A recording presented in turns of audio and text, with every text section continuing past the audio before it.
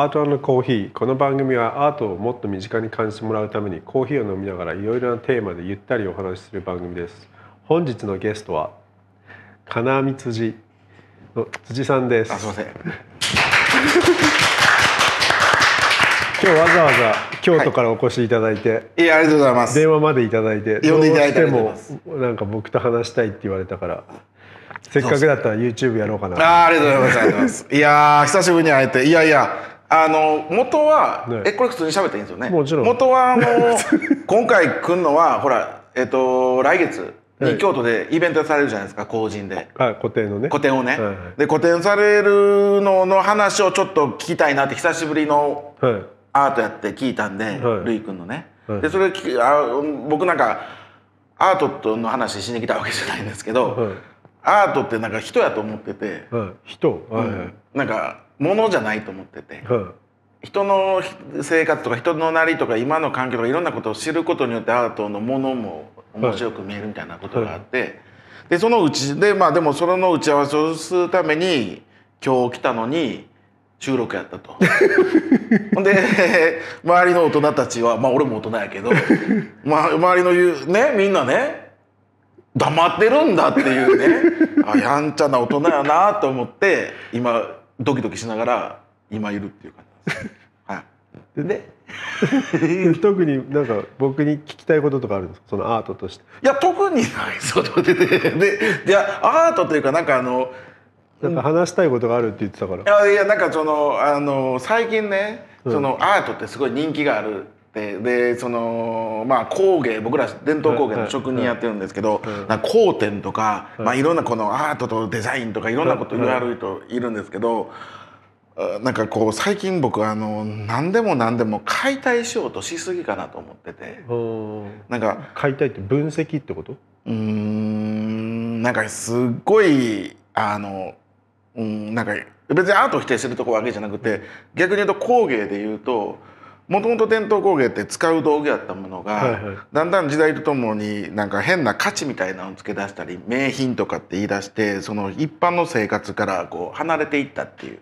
とところがあって。でも僕らの作ってる道具って日本人が日本人の生活を知った人間がその日本人のために作ってるもともとの道具なんではい。やっぱり使いやすいと思うんですよ。ただやっぱり伝統工芸のあり方っていうのが、まあ、多分どっかのタイミングで間違ってきて、うんまあ、社用産業となってきたと。でもここ平成ぐらいうんで令和になったらやっぱりこう僕らの道具って一回つく使ったらまあ修理しながらも使えるっていうのもあって、やっぱりこう見直されてきた。ってなってきた時にまた今までにはない若い世代とかいろんな人らが工芸品を使うようにようやくなってきたのにもかかわらず、ん。なぜかその盛り上がってくるとそのああでもないこうでもないっていうことを言ってくる人が多いなと思うんですよ。うん。でそれはもともと僕家業を20年前やる前に、うん。京都で洋服屋さんやってたんですそのヒップホップのダボっとしたお店、でその時も最初ヒップホップのラップの意味なんて分かんなかったわけなんですよ。うん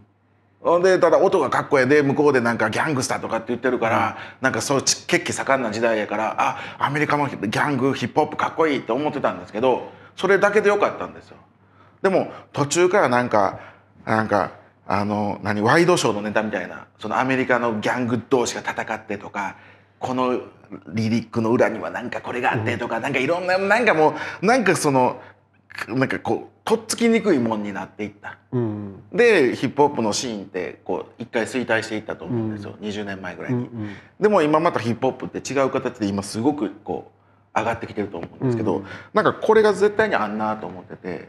ででも今でもヒップホップのアーティストで残あの今でも活躍してる人ってやっぱりずっと地道にこうヒップホップやってきてる人っていうのはまあもうそれやっぱりこうかっこよさっていうのがあるように、うん。なんか工芸もそうやけどなんかその工芸はどうあるべきかとか工芸に日本の精神性とかすごいなんかそういう話とかって結構多いんですよ。でそういうなんかもういい加減にしてほしいなと思って、うん。ルーってこういうことを言ってるとあれなんですけどでその時になんかアートも今ほら大学生のアート展とかに人が山盛り行って、うん。ね。でそれ否定してるわけじゃないですよ、うん。いずれ面白いなと思うんですよ。ただなんかそれをなんかいろんな人がこうでもないああでもないっていうのがなんか僕も一応20カ国行ってきてルイジアナとか美術館とかドイツのコルンバケルンにある美術館とか、まあ、それこそパリのあのルーブルとかいろんなところ行ってきたんですけど、やっぱり確かに僕の中で感動したものは何個かあったんですよ。まあ、特にイギリスでバスキア見た時とか、すごいなと思って。ででもなんかまあこれのこと言ってしまうとあれなんですけど基本的には死んだ人やったんですよね アート好きな人。なんか。で最近そういろんなこと考えてるんですよ。でルイ君にで僕もその最初なんか変な人に「辻君もやっぱアートやってみたら」みたいなこと言う人もいるわけなんですよ。アートやってみたって何やねんと思いながら。でもなんかあの僕しょうもないことなんですけど僕感動したのがバスキアやったんでバスキアの展示の展覧会をイギリスで見た時にうわすごいなと思ったのもあったんですけどその後にあの恥ずかしげもなくキャンパスにバスキアみたいに描けるかなと思ってやろうと思ったんですよ。なら何も描けなかった。わかります？でたまにねアートとかで点とか書いてあるやつでこれがかっこいいとか言う人とかいるじゃない？ですか「あいいね」とかって言ってるけど俺絶対あこいつらなんかこういけてる体で何がええねんと。わかります？こえ？こんなんなんやねんみたいな。で思ってたんですよ。でもいざやってみたら全くこうペンが筆が進まないわけ。ですよ、うん。でも子供って筆も足したらうん。めちゃくちゃ書くじゃないですか、うん。わかります？でどうしても僕40になると大人ってまあいろんなそのものを見てるからさっきも神谷さんと喋ってたんですけど、あのアウトインプットとアウトプットの話だと思うんですけど、うん。インプットの仕方が人それぞれ年そう年それぞれに違うと思うんですよ。うん。ね。で俺ずっと喋ってていいんですか？うんいやでそう思った時になんかその子供のようにじゃないけど何の無制限もなくキャンパスに向き合える人っていうのに感銘を受けるようになったんですよ。うん。僕が実際やってみたから。うん。うんそう。ででも子供あでもでそれはおとアーティストが子供っていう意味じゃなくて、無うん。無知ではなくてなんかそこの部分を表現してはる人たちが面白いなって思ったりっていうのが僕のアートの見方というかアートなんですけど、うん。何が言いたいかというと僕一回桑沢って学校で一回お話をさせてもらった時にデザインとはっていう話になった時にみんな5人の人らが各々のデザインの私にとってデザインとはみたいなことを言うけどでも若干違うんですよ。うん。だからイメージとしてはデザインっていうワードにこうこうパラサイトじゃないけどひっついてる感じ？わかります？だから、アートアートって言ってるのも多分そのアートっていうところに自分らの思いの中でアートっていう真ん中の玉にひっついてるだけであって誰一人中に入った共有ってないような気がするんですよ。うん。だからあのもっともっと自由でもっともっとなんかあの楽しむっていう感覚、うん。があってもいいのかなって思ってるい君は自分がこうやってアート作品やってはる中で僕はそのあの全く意味が分かんないんですよ。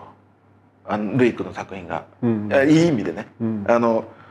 だから意味をもと昔それこそ意味を求めていろんな美術館で物を見た時もあったんですよ、うん。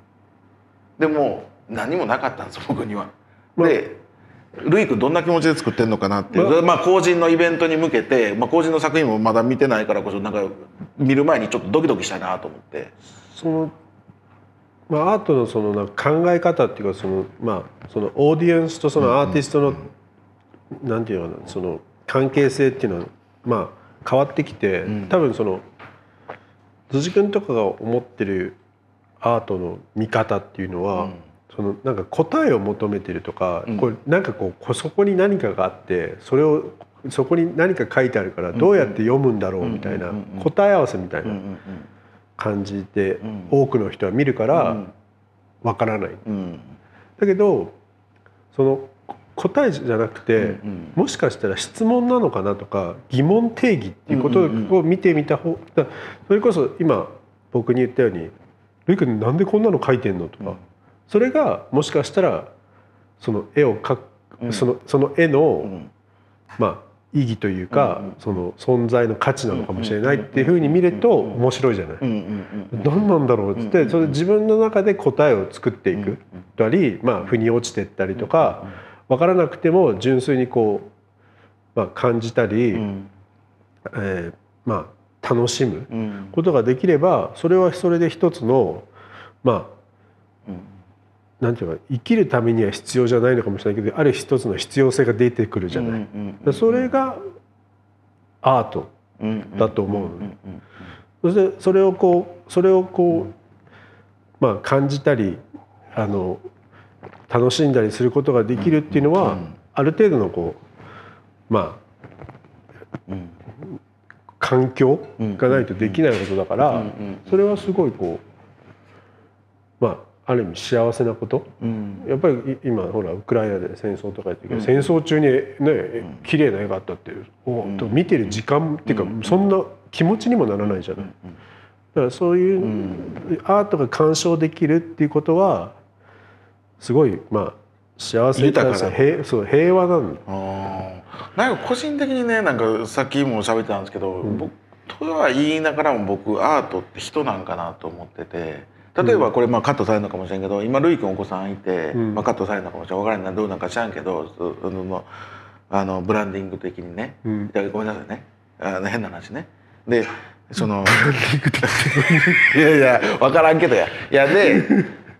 僕はなんでわざわざスーパースターである僕がわざわざ東京に来て 来たのかっていうとここコロナもあってるい君と2年ぐらい会ってなかったじゃないですか。そうだっけ？23年正直ね、で会ってない間にお子さん生まれてで一回お子さん会ってみたいなところで、うん。なんかあの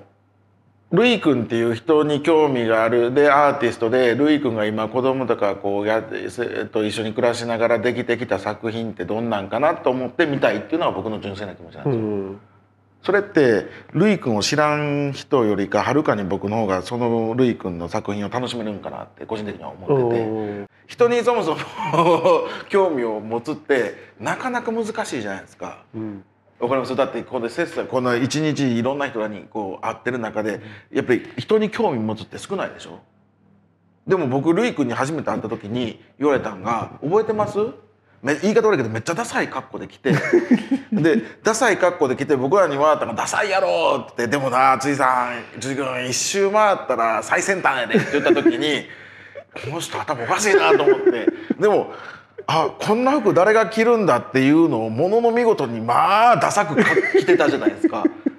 それをでも言ったんがでもこれはブランドが意図してる着方だよって言った時にもう頭がわけわからなくなって でも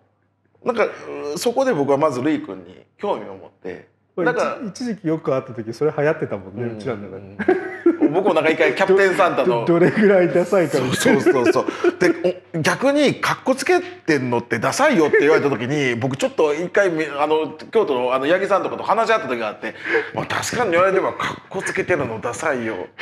まあ確かになとかって思って。っていうぐらいでやっぱりうまあ僕はどっちかって言ったら電動工芸の職人でありながら結構人が好きやからだからこそ興味持った人の作品っていうのを楽しみにする？なんかたまになんかデザインじゃあ工芸とアートとかって比べたりする人もいる中で、うん。なんか僕個人的に思うのは、うん。全くアートクラフトとかよく言われるけどわけわからないんですけど横文字したら何でもかっこよ思うなよって思うんですけど でも唯一共通点があるとしたらあの見たことない美しいものっていうところだと思う行行き着くところが。工芸の美しい見たこともないもの。で人間って想像を超えるものとか見たりとか見たことないものを見た時に、うん。あの感動するじゃないですか。言うたら。でそれはアートにも多分あるやろうし工芸にもあるやろうしっていうところでのあの横のつながりはあるのかもしれんけど、うん。なんか僕はなんかクラフト僕らがやってる工芸とアートは全然違うからこそ、うん。あなんかアート僕らって毎日同じものを一生懸命作るっていうのが作り続けること自体が仕事やっていうふうに思ってる中でアートってほら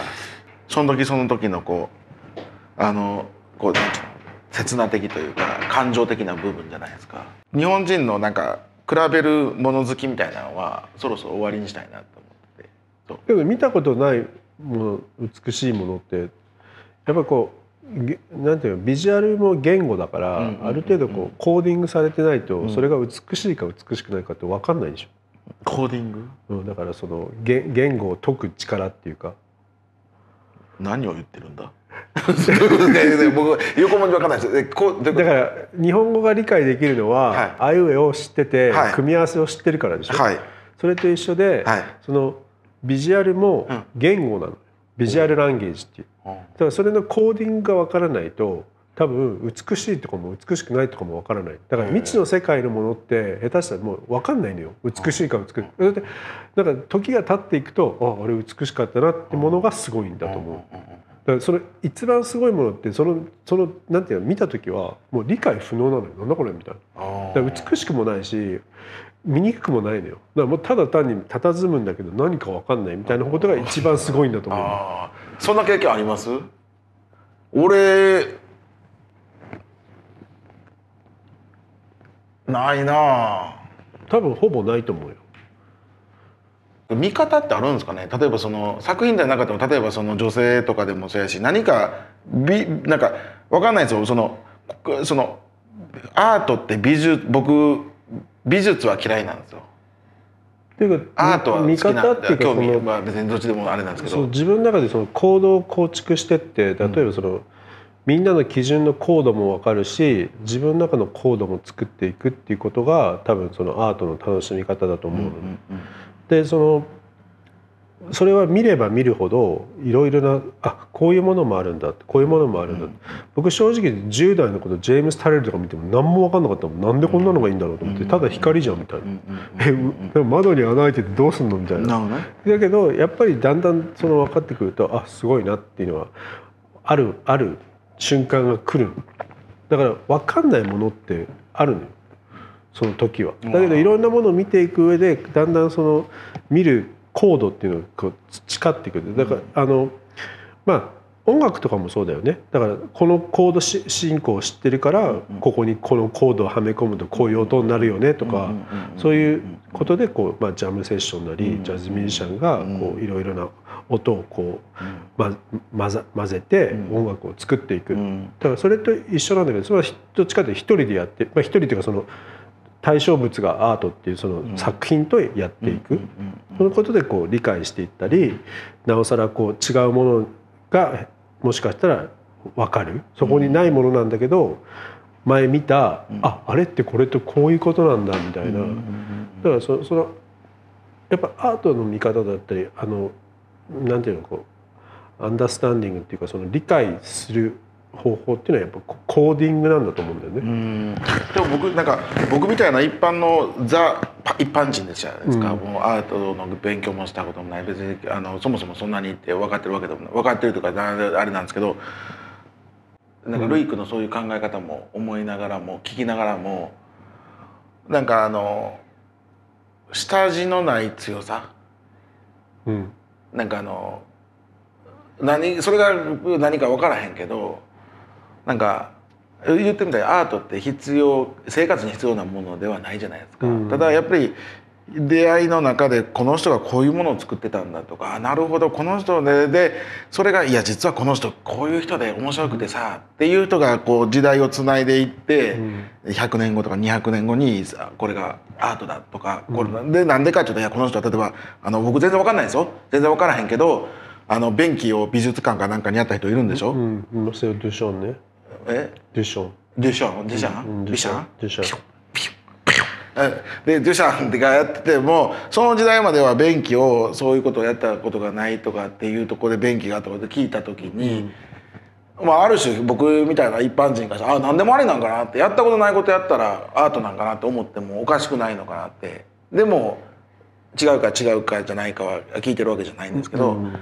でなんか僕昔にまあこれカットされるかもしれないけど、まあ、その確認する人もないけどクリスティーズってオークションが昔あって上海で。その時に僕出してくれって言われて、でそれがクリスティクリスティーズで今までアートやったんですよ、うん。でも初めて工芸をやるっていうので上海の新天地っていう新天リーっていうところでやったんですよ。でエルメスがやってる家具ブランドサンシャサンシャっていう家具がまあメインでやって、その前ぐらい後ぐらいにうちあとその後がうちやったってでその時に 依頼来て「辻さんあのあのアーティストでいいですよね」っていう話になったんですよ。で「いや違う違う違う違うあのクラフトマンや」っていう。いやでもアーティストじゃないとやっぱり値段がみたいな話になるわけなんですよ。うんでもそうなってきた時になんか僕の中ではあアートっていうのは価値があってクラフトっていうのは価値がないんじゃないけどっていうイメージを持ってで案の定やっぱりいろんな雑誌であったりメディアの人とかがとか一般のお客さんとかでもいろんな人らがたまにうちの商品見てくれてもうさあの作品みたいですねって。でいや商品ですよって。いやいやいやこれはもう作品ですよっていうわけなんですよ。いやだから商品なんですって言うんですよ。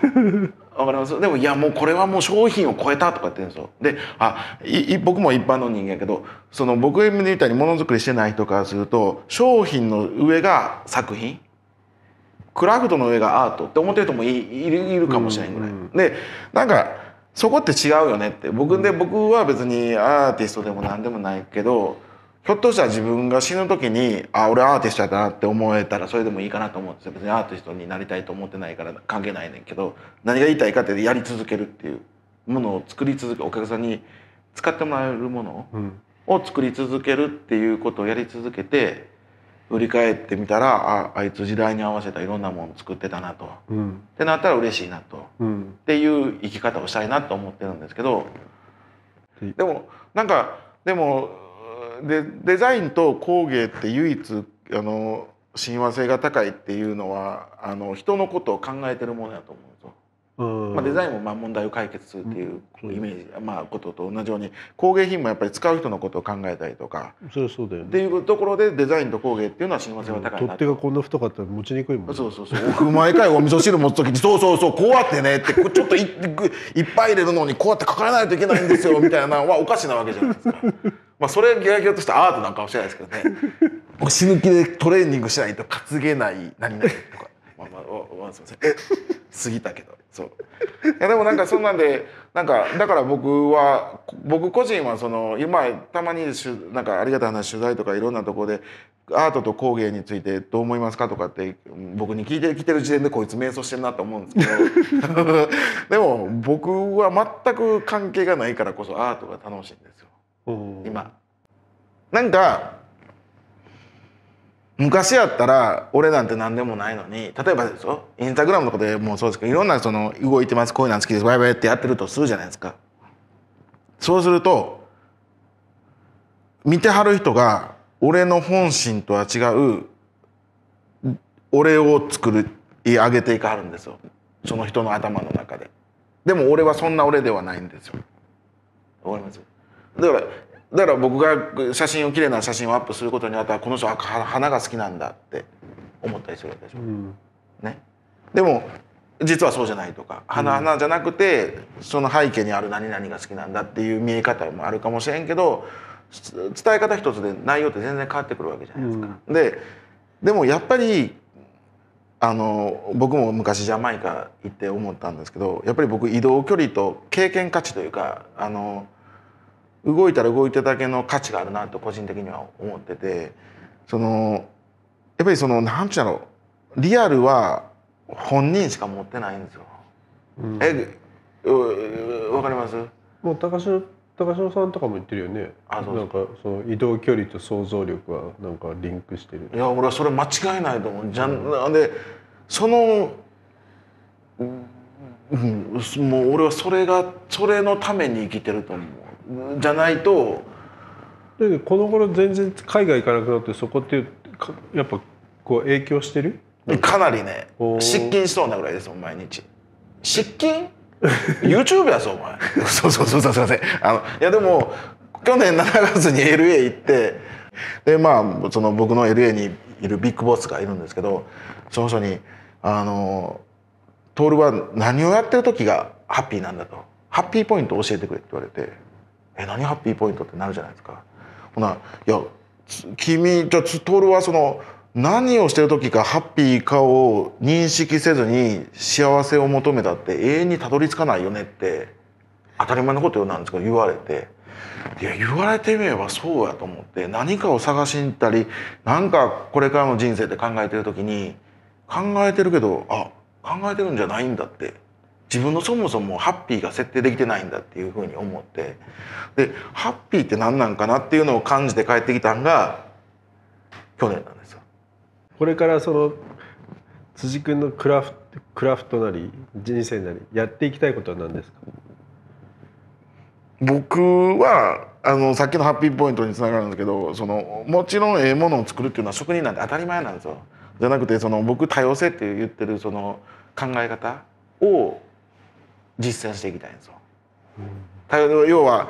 うちまあさっきもちょこあの悪ぶってるんじゃなくてこうタトゥーとかいっぱい入ってて伝統工でも今僕まああんまりいいのかもしれないけど伝統工芸の職人でタトゥーっていうのは十何年前は僕も隠してたし見たバレた時バレたとか見られた時には「お前店の前とんな」と「そんな落書きして」とかいろんなこと言われたんですよ。でも僕は僕の人生の中で大切なことを入れ墨として入れてるし最初母親あの自分が最後死んだ時に棺桶入れられた時に体上半身僕背中入れてないのはそこなまあ一応入れてるけど上半身入れてるのはじゃあ上半身とか表面メインなんは死んだ時に子供らに見てほしいからなんですよ。例えばここにゴーンとかやってる好きな好きというか僕がやってる仲間とやってるプロジェクトとかいろんな言葉がマイク触んなってごめんなさい。体に入ってるんですけど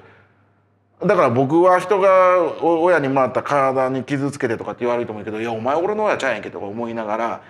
俺はそうやって生きてきたんですよ。で世の中にはやっぱり僕は勉強は不得意なんですよ。こう見えて。でも世の中ってできることできん人ってあって社会に出たらオールな10段階でオール7を求められてるような気がしてて。でも僕お金の計算とか全くできないんですよマジで。マジで残念。残念ながら言って 残念ながら。でも物を作ったりとか新しいものを作る意欲もあるし人と喋ることも得意やしっていうのだからこそ僕はやれることがあって。でうちの職人たちは各々がキャラは違うんですよ。年も違えば。でも僕は多様性こそが工芸の未来を作ると思ってて何が言いたいかっていうとあの伝統工芸って地場産業なんですよ。要は地域の仕事なんですよ。で頭ええ人らは頭いい仕事すればいいんですよ必要な仕事。でも世の中って頭ええ人以外は排除するっていう社会じゃないはずであるべきなんですよ。で僕みたいにもともと昔建築の仕事石膏ボードとかを運ぶ仕事とかしたんですけどまあやんちゃやったり、まあ、よっぽど建築が好きやったら別やけど基本的にリアルな話で言うと学歴なかったら建築に行ったりするわけなんですよ。ね、でも学歴とか勉強好きじゃないけど物を作るの例えば図工が好きとか物を作るのが好きっていう人は絶対いるんですよ。ね、でその人らが気持ちよく一生懸命作れてでもその人だってコミュニケーションできひんかったりするんですよ。でも一生懸命作ることを認めてあげてずっとこう付き合っていけばその人間も信用できる人間に対してのちゃんとしたコミュニケーションもできるようになっていくんですよ。わかります？何が言いたいかというと伝統工芸のジャンルに今までやったって今日ってあった男性の世界みたいに思われてるけどいやこれから全然女性なんですよ。だって女性やったらもし工房の仕事の内容にもよるけどもし持って帰って仕事ができるんであれば出産した後に内職という名の家できっちりしたものを作ってもらうとかっていうこともできるかもしれないわけなんですよ。だから今までの伝統工芸の当たり前って言われてるものに対してあの僕今2代目なんでまあ京都で2代目ってベンチャーみたいなもんなんですよ。え？2代目？みたいな